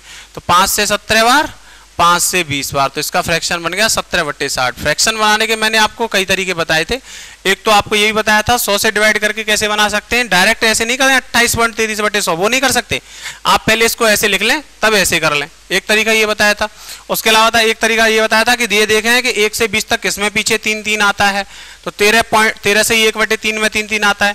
इसको हम ब्रेक कर सकते हैं तेरह सही एक बटे तीन इसमें से अलग निकाल के जो बचेगा उसको अलग ब्रेक करके सीधा बना लेंगे फ्रैक्शन तो कितना आ गया? सत्रह बटे साठ। तो सत्रह बट्टे साठ का मतलब साठ क्या है इनकम और सत्रह क्या है? खर्च। लेकिन हमें खर्चा नहीं चाहिए, बचत चाहिए। तो बचत के लिए साठ में से सत्रह को घटाना पड़ेगा। तो बचत कितनी आएगी? तैतालीस। अभी पीछे बता चुका हूँ मैं। तो सेविंग में कितना लिखेंगे? फोर्टी थ्री पहला खर्चा हो गया और पहले खर्चे के बाद बचत कितनी हो गई? ये आ गया। ऐसे ही फिर देखो दूसरे वाला, शेष का कहा है? उसने फिर कहा है, शेष भाग का तिरसठ पॉइंट तैतीस प्रतिशत। शेष भाग का तिरसठ पॉइंट तैतीस प्रतिशत। तो इसको मैं ब्रेक कर सकता हूँ तीस परसेंट में। और प्लस तैतीस पॉइंट तीन तीन परसेंट में। ऐसे ब्रेक कर सकता हूँ? तो तीस परसेंट का फ्रैक्शन कितना होता है? तीस परसेंट का फ्रैक्शन होता है तीन बटे दस। और तैतीस से ही एक बटे तीन का होता है एक बटे तीन। दस और तीन का एलसीएम कितना आ जाएगा? तीस। दस से भाग देंगे तीन बार, तीन त्रिका नौ। तीन से भाग देंगे दस बार तो फ्रैक्शन कितना बन जाएगा भाई? उन्नीस बटे तीस। तो इसका फ्रैक्शन कितना बन गया? उन्नीस बटे तीस। तीस इनकम का हो जाएगा? और 19 को घटा देंगे तो 11 किसका हो जाएगा? सेविंग का हो जाएगा। सेविंग का लिखना होता है इधर। पहले बता चुका हूँ बार बार अब बार बार रिपीट करने की ज़रूरत नहीं है। बता चुका हूँ, घटाकर लिखते हैं। क्यों? क्यों लिखते हैं? रीजन भी हर एक के पीछे बता रहा हूँ। इसलिए कि ये इनकम है, ये जो है खर्च है। हमें बचत निकालनी है तो इसके लिए खर्च, इनकम में से खर्च को घटाना पड़ेगा। करने के बाद, उसके बाद पैंतीस सोलीस रुपए वो दान कर देता है। मतलब भाई, यहाँ से परफेक्ट में मान आ गया तो यहीं से कैलकुलेट करना पड़ेगा, कट कुछ रहा नहीं है। तो 1800 रेशियो अगर इनकम होगी तो बचत हो जाएगी थ्री और सेवन और फोर ये हो जाएगी। अब इसमें से पैंतीस सौ सोलह रुपए वो दान कर देता है, यदि वो अपनी आएगा दस प्रतिशत की बचत करता है तो अब बचत निकालने पहले यहाँ से। तो ये सेविंग कितनी हो गई? चार सौ तिहत्तर रेशियो में से अगर मैं पैंतीस सौ सोलह जो उसने दान करे हैं, उसको घटा दूँ। तो ये उसके पास बचा हुआ धन होना चाहिए कि नहीं होना चाहिए? अगर ये जो बचत है, इसमें से जितने रुपए उसने दान किए हैं, अगर मैं उतने रुपयों को इसमें से घटा दूँ, पैंतीस सौ सोलह रुपए को इसमें से घटा दूँ तो ये बचत के बराबर होने चाहिए? इनको मिटा देता हूँ। ये तो फ्रैक्शन बना लिए होंगे आपको, मैंने सिखाए हैं। इन फ्रैक्शनों को भाई साइड में कॉपी करते जाया करो। जब आप ये कॉपी किया करो क्लास पढ़ा करो तो ये फ्रैक्शन भी कॉपी किया करो, क्योंकि ये आपको याद तब भी हो जाएँगे एग्ज़ाम में आ जाएँगे तो डायरेक्ट कर दोगे आप। आपको ये सारी चीज़ें करनी नहीं पड़ेंगे, इसीलिए आपको इतनी प्रैक्टिस कराई जा रही है यहाँ पर ये फ्रैक्शनों पर तो चार सौ तिहत्तर रेशियो माइनस पैंतीस सौ सोलह। तो अगर मैं इसमें से दान किए गए खर्चे को घटा दूँ तो उसकी बचत के बराबर होना चाहिए। और बचत उसने क्या कहा है कि इनकम का दस प्रतिशत तो अठारह का, दस प्रतिशत कितना हो जाएगा? एक बटे दस यही तो हो जाएगा। तो ज़ीरो से ज़ीरो कैंसिल करेंगे तो बचत एक सौ अस्सी रेशियो हो जाएगी कि नहीं हो जाएगी भाई, ये बताओ। इसकी बचत 180 रेशियो हो जाएगी कि नहीं हो जाएगी? अब उसके बाद 3516 को ले जाते हैं इधर और 180 रेशियो आ जाएगा इधर।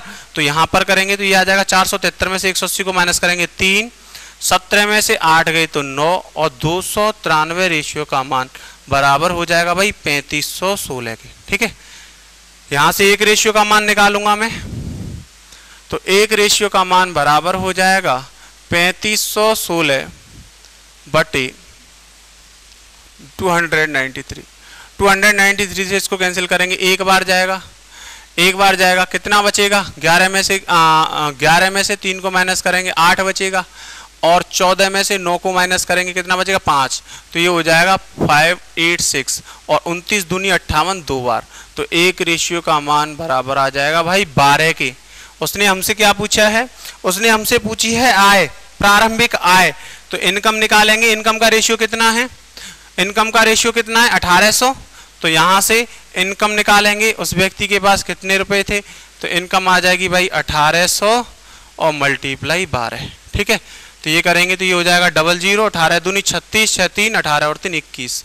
इक्कीस हज़ार छह सौ रुपये तो उसके पास प्रारंभ में कितने रुपए थे? सतवीर के पास प्रारंभ में कितने रुपए थे? इक्कीस हज़ार छह सौ रुपए थे। ठीक है? क्लियर है क्वेश्चन तो ये फोर्थ क्वेश्चन का सॉल्यूशन है। 473 क्या है? 473 इन दोनों खर्चों को करने के बाद जो उसके पास धन बचा, वो बचत है। उसमें से भी उसने दान कर दिए तो दान को घटा देंगे? एक बार और समझ लेंगे। उसमें से भी, ये तो मैंने बचत कर लिए। उसके बाद उसमें से दान को घटा देंगे। दान को घटाने पर उसकी बचत के बराबर होना चाहिए। बचत में उसने कहा है कि आय का दस प्रतिशत तो 1800 का दस प्रतिशत। ये जो 180 है, ये क्या है? ये जो 180 है, ये क्या है? ये 1800 का 10 प्रतिशत है, मेरे प्यारे विद्यार्थियों। 1800 का 10 प्रतिशत है, वन बाई टेन। कोई बात समझ में ना आया कर तो स्क्रीनशॉट ले लिया करो, यूट्यूब पे स्क्रीनशॉट अलाउ है। तो ये 1800 का 10 प्रतिशत एक रेशियो यहाँ से रेशियो का मान निकाल लो आंसर आ जाएगा। क्लियर है? स्पष्ट है नेक्स्ट चले। ये इनिशियल फाइनल पर आधारित इनकम और सेविंग बचत से रिलेटेड क्वेश्चन है, जो पिछली क्लास में आपके छूट गए थे, मैंने दस ही क्वेश्चन कराए थे, जिसमें पॉपुलेशन से रिलेटेड कराए थे और कुछ फॉर्मूले बेस्ड कराए थे। सारे क्वेश्चन आपको इनिशियल फाइनल से करके बताए थे मैंने कैसे होते हैं। ऐसे ही मैं यहाँ पर आज ये आय से रिलेटेड क्वेश्चन आपको मैंने कराए हैं। तो देखो, एक और क्वेश्चन देख लो आज की क्लास का लास्ट फिर उसके बाद इनिशियल फाइनल इस कंसेप्ट को लास्ट ट्यून देते हैं। फिर आगे वाले टाइप देखेंगे। क्योंकि आगे वाले भी पढ़ने भाई सिलेबस को भी कंप्लीट करना है। तो ऐसा नहीं है। इससे रिलेटेड क्वेश्चन जो है आपको सीट परसेंटेज की सीट जो पीडीएफ में प्रोवाइड करा दी गई है उसको लगाएँ। जो मैंने टाइप आपको पढ़ा दिए हैं उनसे रिलेटेड जितने भी क्वेश्चन है उनको करें। फिर मैं डाउट आपको डाउट सेशन में बता दूँगा। क्या करेंगे कि जो मैंने टाइप परसेंटेज के पढ़ा रहा हूँ देखो भाई पढ़ने का तरीका। मैं फालतू में मेहनत नहीं कर रहा यहाँ पर। मैं आपको पढ़ाने के लिए मेहनत कर रहा हूँ। ऑफलाइन क्लासेस ऑफ़ होने की वजह से मुझे पता है कि बच्चे जो हैं घर पे बैठे हैं तो घर पे बैठ के आप मेहनत करो उसके लिए कर रहा हूँ। तो आप यहाँ पर जो मैं करा रहा हूँ इन टाइपों को करने के बाद, इन टाइपों पर आधारित क्वेश्चन सीट में ढूंढा करो। जिनके पास सीट नहीं है, वो टेलीग्राम चैनल को ज्वाइन करें। इसमें डिस्क्रिप्शन में लिंक दी होगी वीडियो में। उस टेलीग्राम चैनल को लिंक करें लाइक करें सब्सक्राइब करें, जिससे आपको सारी अपडेट आपके पास आती रहे। ठीक है? तो देखो, इस क्वेश्चन को पंद्रह हाँ सॉरी पाँचवें क्वेश्चन को। एक आदमी सोलह सौ रुपए लेकर बाज़ार गया। उसने तैतीस पॉइंट तैतीस प्रतिशत भाग सब्ज़ी पर खर्चा किया, बचे हुए भाग का जेठ प्रतिशत भोजन पर खर्चा किया, बचे हुए भाग का पचास प्रतिशत यातायात पर खर्च कर सकता है। अंत में उसके पास चार सौ रुपये बचे तो जेड का मान क्या है? ठीक है? देखो सॉल्व करता हूँ। तो पांचवा क्वेश्चन मैं इसको सीधा सीधा सॉल्व कर देता हूँ। इसमें कुछ करने की ज़रूरत नहीं इनकम पहले ही दी है उसने। इसने कहा, सोलह सौ रुपये लेकर बाज़ार गया तो इनकम सोलह सौ है? भाई, इनकम सोलह सौ रुपए है सीधा सीधा इसमें मल्टीप्लाई करते चलते पता लग जाएगा। उसने कहा, तैतीस से एक बटे तीन प्रतिशत जो है, सब्ज़ी पर खर्च करता है। तो तेतीस से एक बटे तीन परसेंट कितना होता है भाई? 33.33 परसेंट कितना होता है? अब मैं डायरेक्ट कर देता हूँ, बताने की ज़रूरत नहीं है। तैतीस से एक बटे तीन वन बाई थ्री होता है। वन क्या है? खर्च तीन क्या है? इनकम तीन में से एक को घटाएँगे तो दो बटे तीन। तो ये बचत आ जाएगी। सब्ज़ी पर खर्चा करने के बाद उसके पास कितने रुपए बचे? सब्ज़ी पर खर्चा करने के बाद उसके पास इतने रुपए बचे यहाँ से लेके और यहाँ तक। ठीक है? फिर उसके बाद उसने कहा है, बचे हुए भाग का जेड प्रतिशत भोजन सामग्री पर। ठीक है? जेड प्रतिशत है। तो देखो जेड प्रतिशत इसने वैसे दे दिया है तो जेड परसेंट का फ्रैक्शन में मान कितना बनेगा? जेड बटे सौ। तो इसमें से सौ इनकम है जेड जो है वो क्या है? खर्च है, हमें लेकिन बचत निकालनी है। तो बचत कितनी हो जाएगी? हंड्रेड माइनस जेड बटे सौ। यही तो हो जाएगी। ऐसे कर लेंगे। मल्टीप्लाई शेष का कहा है तो हम सीधा करते जाएँगे। फिर उसके बाद कहा बचे भाग का पचास प्रतिशत यातायात पर खर्च करता है। पचास प्रतिशत एक बटे दो, बच आधा खर्च कर देगा तो बचेगा कितना? आधा वन बाई टू और ये वाली वैल्यू फिर उसके बाद उसके पास बचे चार सौ रुपए। तो ये वाली वैल्यू कितने के बराबर हो जाएगी? 400 के, ठीक है? अब मैंने डायरेक्ट कर दिया है। तो ये वाली वैल्यू कितने के बराबर होनी चाहिए भाई? 400 के बराबर होनी चाहिए। थोड़ा अलग अलग मैं एक्सप्लेन करके बता दूँ आपको इस क्वेश्चन को, जिससे आपको ये पूरा, वैसे तो एक इक्वेशन में क्वेश्चन सॉल्व हो गया इस इक्वेशन में। इसको सॉल्व कर लो जेड का मान निकाल लो, लेकिन आ गया। लेकिन थोड़ा सा समझा देता हूँ मैं। देखो, ये जो सोलह सौ रुपये है ये उसकी इनकम है। इनिशियल फाइनल ये ये कुछ नहीं है? और ये जो है ना, ये सेविंग बस लिखने का तरीका अलग है। तो देखो, इनकम और सेविंग का रेशियो क्या होता है? जो चेंजेज हैं, उनमें मल्टीप्लाई का रेशियो ही तो होता है। जो मैं इनिशियल फाइनल में आपको ऐसे करके बताता हूँ, वही तो बताता हूँ तो यहाँ भी तो सेम वही काम हो रहा है। ये इनकम है सेविंग को इधर ले आऊँगा तो नीचे आ जाएगी, और ये रेशियो और ये रेशियो यही काम तो हो रहा है। तो आप चाहें तो अगर आप वैसे ना करें, जैसे मैं इनिशियल फाइनल लिख के बताता हूँ तो आप ऐसे भी, भाई लिखने का तरीका आपके ऊपर डिपेंड करता है, आप कैसे लिखते हो। लेकिन कंसेप्ट नहीं बदलेगा कंसेप्ट सेम रहेगा, जैसा है वैसा का रहेगा, वो चीज़ ऐसी है जो कभी नहीं बदलेगी। आपके माइंड में सेट हो गई तो आपको बना देगी सेट नहीं हुई तो आप कुछ नहीं कर पाओगे ट्रिक्स वगैरह याद नहीं रहती हैं, ये ध्यान रखना। ये कंसेप्ट ही आपके काम आएगा। तो यहाँ से जेड का मान, देखो मैं थोड़ा सा एक्सप्लेन और कर देता हूँ। ये सोलह इनकम है। फिर उसने जो सोलह सिक्सटीन पॉइंट सिक्स सिक्स तैतीस से एक बटे तीन परसेंट सब्ज़ी पर जो खर्चा किया है ना तो ये जो दो बटे तीन का मैंने मल्टीप्लाई कर दिया है तो यहाँ से लेके यहाँ तक जो है, ये बचत आ गई उसकी। बचत सब्ज़ी पर खर्चे के बाद, ये बचत है कब? सब्ज़ी पर खर्चे के बाद। सब्ज़ी पर खर्चा करने के बाद यहाँ तक ये बचत है। फिर उसके बाद जेड परसेंट उसने खर्चा कहाँ किया? भोजन पर। तो ये यहाँ से लेके यहाँ तक जो इक्वेशन बता रहा है ना, यहाँ से लेके यहाँ तक जो इक्वेशन बता रहा है, ये फिर बचत को बता रहा है और ये बचत को बता रहा है भोजन पर खर्च करने के बाद वाली बचत को। और फिर ये जो है डायरेक्ट ये लास्ट वाला जो बचा है, ये पूरा इक्वेशन, ये जो पूरा इक्वेशन है यहाँ से लेके यहाँ से लेके यहाँ तक, ये पूरा इक्वेशन बचत को बता रहा है, जो सारे खर्चे करने के बाद बची तो वो चार सौ रुपए है तो ये पूरा इक्वेशन जब इसके बराबर है तो इसके बराबर में रख सकता हूँ नहीं रख सकता? तो ये एक्सप्लेन हो गया पूरा, आपको समझ में आ जाना चाहिए। अब बस इसको सॉल्व करके जेड का मान निकाल लेते हैं तो हमारा क्वेश्चन बड़ी आसानी से सॉल्व हो जाएगा तो ठीक है। देखो कैलकुलेट करते हैं।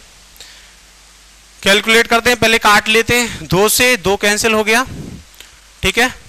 चलते हैं आगे। हंड्रेड से हंड्रेड कैंसिल हो गया। हंड्रेड से दो ज़ीरो यहाँ कैंसिल हो जाएँगी। तो यहाँ कितना बचा? सोलह बटे तीन बचा। और कितना बचा? Hundred minus Z. और ये वाली वैल्यू कितने के बराबर है भाई?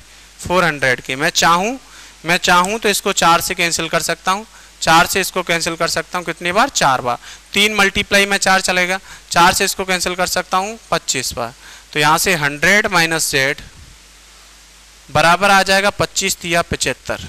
जेड निकालेंगे तो बराबर हो जाएगा। हंड्रेड माइनस सेवेंटी फाइव और हंड्रेड में से सेवेंटी फाइव को माइनस करेंगे तो जेड का मान कितना आ जाएगा? पच्चीस। तो हमारा यहाँ से आंसर हो जाएगा, यहाँ से आंसर हो जाएगा कि उसने उस पर कितना परसेंट खर्चा किया तो जेड का मान आ जाएगा पच्चीस प्रतिशत खर्चा किया भाई। ठीक है? कितना खर्चा किया? पच्चीस प्रतिशत खर्चा किया। तो ये हो गया सॉल्व क्वेश्चन बड़ी आसानी से सॉल्व हो गया नहीं इनिशियल फाइनल पर। तो इनिशियल फाइनल पर आधारित क्वेश्चन हमने इससे पहली वाली वीडियो में पढ़े, पहली वाली क्लास में और आज की क्लास में पाँच क्वेश्चन उसी तरह के देखे, आय पर और बचत पर रिलेटेड तो इनिशियल फाइनल कहाँ लगाना है? जब आय इनकम और बचत से रिलेटेड क्वेश्चनों में, जहाँ पर सीएस का कहेगा बीच में, वहाँ इनिशियल फाइनल लगाना है, बस। और शेष का नहीं कहता तो उनको तो हम सीधा कैलकुलेट कर लेते हैं। अभी मैंने बताए हैं, दोनों चीज़ें पहली क्लास के स्टार्टिंग में आपको दोनों चीज़ें अलग अलग करके बताई थी। उनको कैलकुलेट करने में कोई घटना नहीं कहती होती है। अगर रिमेनिंग का कहता है तो क्या होता है कि इनकम में से पहले खर्चे को काटने के बाद आगे का परसेंटेज शेष पर कैलकुलेट किया जाता है, बस ये अंतर होता है। तो आज की ये वीडियो इनिशियल फाइनल का जो कंसेप्ट है, वो आज इस वीडियो में मैं समाप्त करता हूँ। इसके आगे जब भी आपसे नेक्स्ट वीडियो में मिलूँगा, उसमें आपको मैं एक नए कंसेप्ट के साथ यहाँ पर मिलूँगा। नया कंसेप्ट आपको परसेंटेज से रिलेटेड कराऊँगा। बारी बारी से हम परसेंटेज के जितने भी टाइप हमसे कम्पिटेटिव एग्ज़ाम्स में पूरे जा, पूछे जाते हैं उन सारे टाइपों को कंप्लीट करेंगे। आपको टेंशन लेने की ज़रूरत नहीं है। बस आपको पढ़ना है घर पर बैठ के आराम से पढ़ना है। तो मेरे प्यारे विद्यार्थी अगर इस वीडियो में आपको कोई भी कमी लगती है या इस वीडियो में आपको कोई भी चीज़ समझ नहीं आई है तो आप कमेंट सेक्शन में मुझको बता सकते हैं जिससे मैं उन कमियों पर काम करूँ और परफेक्शन की तरफ़ अपने आप को बढ़ाऊं और आपको भी परफेक्शन की तरफ़ लेके चलूँ, जिससे सिलेक्शन आपका जल्दी से जल्दी हो, ठीक है? तो आज के लिए मैं इस सेशन को यहीं पर समाप्त करता हूँ। तब आप विदा चाहता हूँ। आज के बाद आपसे मिलूँगा नेक्स्ट वीडियो में। तब तक के लिए बाय बाय टेक केयर अपना ख्याल रखें। कोरोना से अपना बचाव करें, घर पर पढ़ें, सुरक्षित रहें, सही रहें, ठीक है? बाय